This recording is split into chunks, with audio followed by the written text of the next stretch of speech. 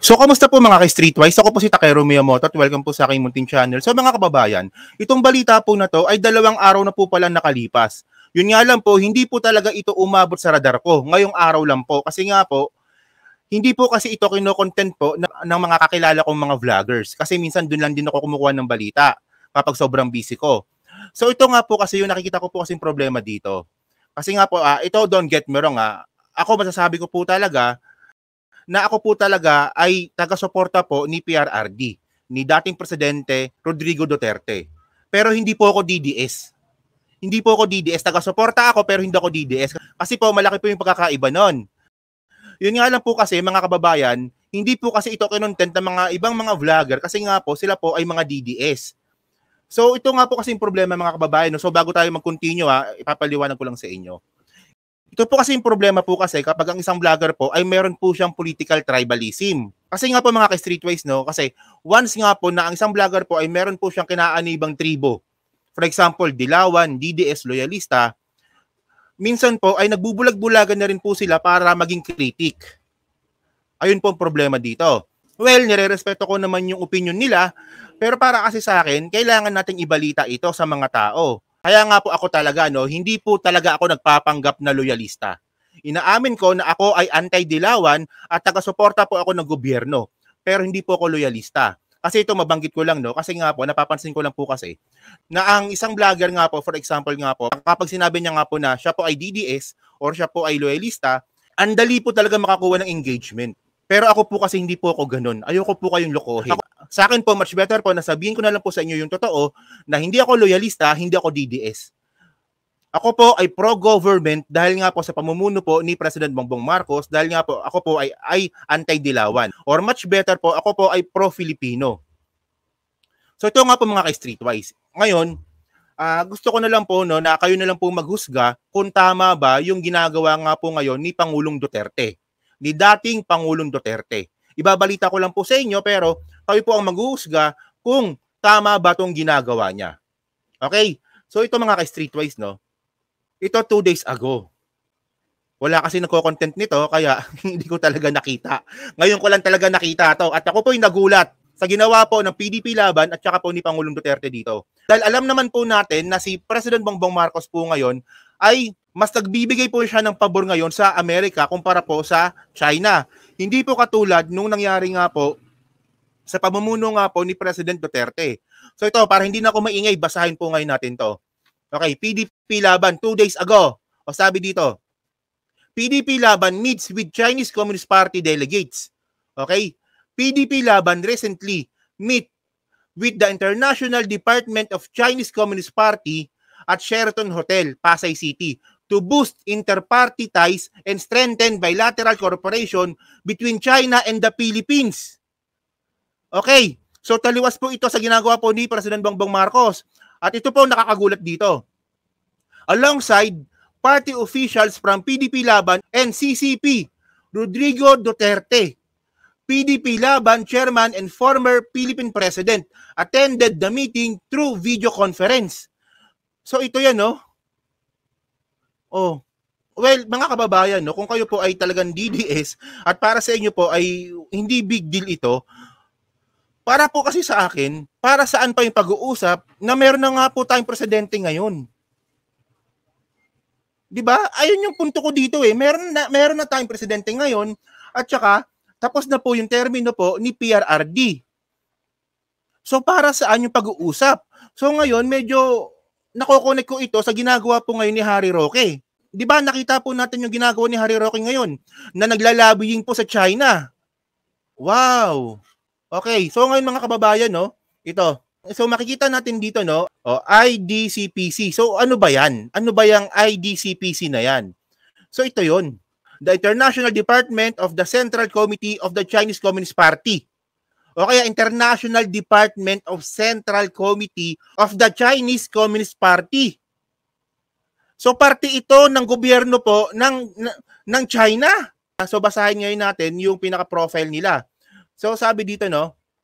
Okay, okay. Better known as the International Liaison Department ILD is an agency under the Central Committee of the Chinese Communist Party in charge of establishing and maintaining relations with foreign political parties.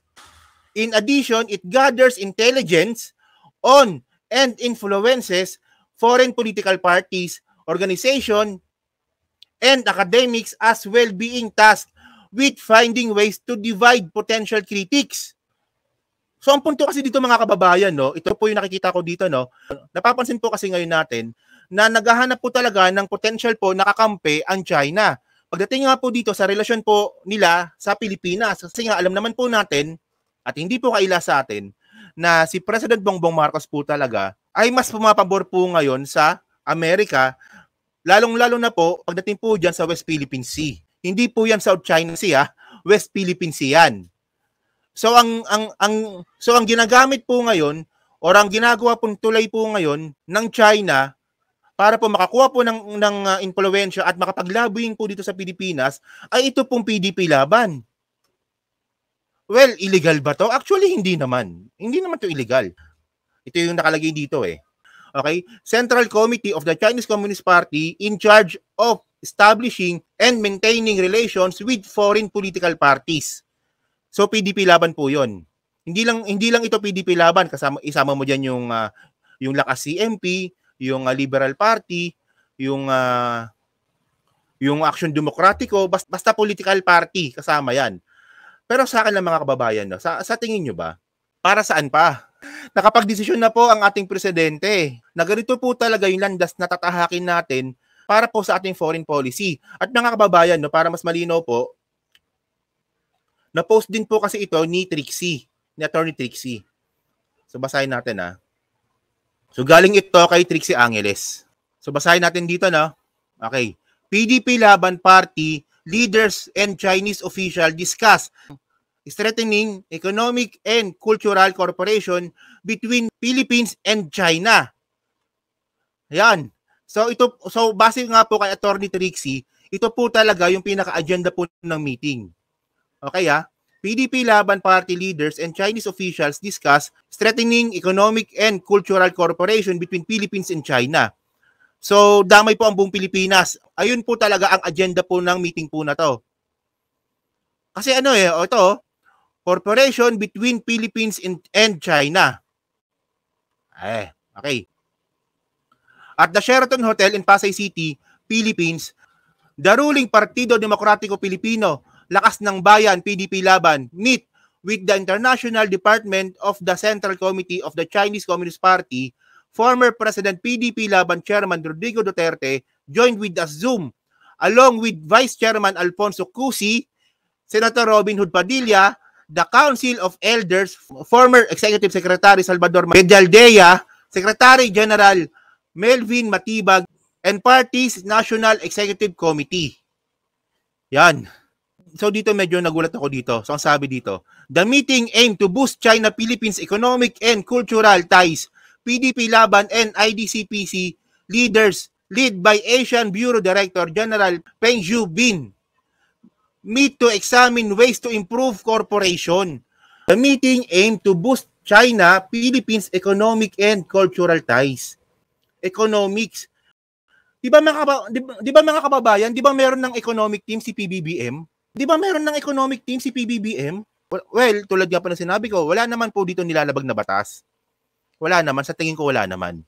Pero ang punto kasi dito mga kababayan, 'di ba? Nagiging tuloy po kasi si Pangulong Duterte para nga po magbago ang isip nga po ni President Bongbong Marcos dito nga po sa ginagawa niya nga po tungkol nga po sa foreign relation nga po natin dito nga po sa China at saka sa Amerika. So ano ba to? Ginagamit ba ni Pangulong Duterte yung kanyang natitirang uh, political uh, political capital o ang kanyang natitirang impluwensya para po mapagbigyan nga po ng pagkakataon na, na, na maglobbying po ang, ang China dito po sa Pilipinas? Well, tingnan natin. Kasi para sa akin, ayun lang po yung nakikita ko. So ito, no, tuloy lang natin ng konti. So dito rin po mga kababayan po, no, uh, sinabi rin po dito ni Attorney Trixie kung saan po nagsimula po itong meeting po na to. So ito, basahin ko na lang din po, no. So sabi niya dito, the conversation began with President Marcos Jr. Freeview successful visit to China, but the Chinese side expressed concern over recent negative developments. Such as the announcement of four new EDCA sites and possibility of joint Philippine-US patrols in the South China Sea. They worried about the two-nation ties. So nagsimula po pala, ito no, nagsimula po pala itong conversation po na to ng uh, ah, IDCPC o so whatsoever at saka ng PDP Laban dahil nga po dito sa EDCA. So pagkatapos nga po makapag-usap nga po ni PBBM doon nga po sa sa gobyerno po ng China, eh mukhang naging negative nga raw po sa panig nga po ng China yung mga developments. Especially nga po tungkol nga po dito sa EDCA. So everything is all about EDCA. Ayun po yung punto dito. At ginagamit po ang PDP laban at saka si Pangulong Duterte para po dito. So kayo na lang po mag-isip kasi ayoko pong masyadong magsalita tungkol dito, kayo na lang po mag-isip. Kasi ako binabalita ko lang po sa inyo na sa akin napaka-unusual lang po kasi talaga. Oo. Kasi nga po si PBBM po, meron na po siyang sariling economic team, meron na po siyang sariling chain of command sa ating armed forces, at meron na rin po siyang foreign advisor. So, ewan ko lang, siguro siguro naninibago lang po siguro yung China dahil nga po sa magkaiba nga pong estilo nga po na pagiging presidente nga po ni PBBM at saka pa nga po ni dating Pangulong Duterte. Malamang yun lang po yun. Pero yun nga po kasi mga ka-streetways na Yung sa akin po kasi, yung uh, territorial dispute nga po kasi na yan, matagal na po kasing issue yan. Based on my own opinion lang po kasi ito. Nung panahon nga po kasi ni Pangulong Duterte, ako po talaga, ramdam ko po talaga na mukhang na mukhang uh, hesitant. Hindi ko masabing takot eh. Medyo hesitant, kumbaga ilang medyo hesitant po ang Pilipinas po diyan po sa usapin po ng West Philippine Sea. Yun nga lang po, at yung naging epekto nga po nito, pati rin po yung mga Pilipino po ay ay ay medyo nailang din po. Kumbaga, yung iba nga po ay medyo natakot po sa China. Pero dito po nga po sa ginawa nga po ni President Bongbong Marcos, pinakita po ni PBBM na hindi po untouchable ang China.